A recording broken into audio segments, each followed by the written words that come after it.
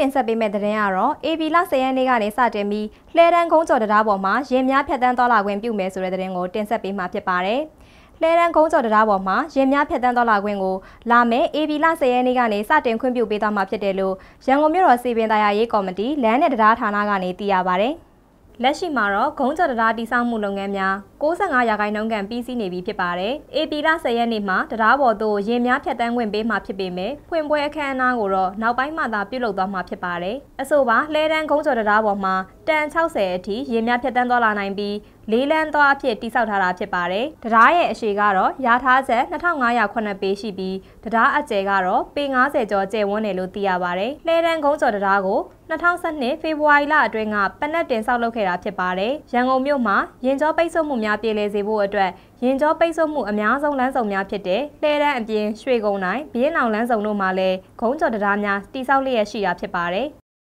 ရွှေကုန်းတိုင်းနဲ့ဘီရင်အောင်ခုံးကျော်တရားများတိစောက်မှုကိုတော့လာမယ့်ဒီဇင်ဘာလမှာအဆုံးသတ်ဖို့အတွက်ရန်ကုန်မြို့တော်စီပင်တရားရေးကော်မတီကနေညွှန်ကြားထားတယ်လို့သိရပါတယ်ရှင်။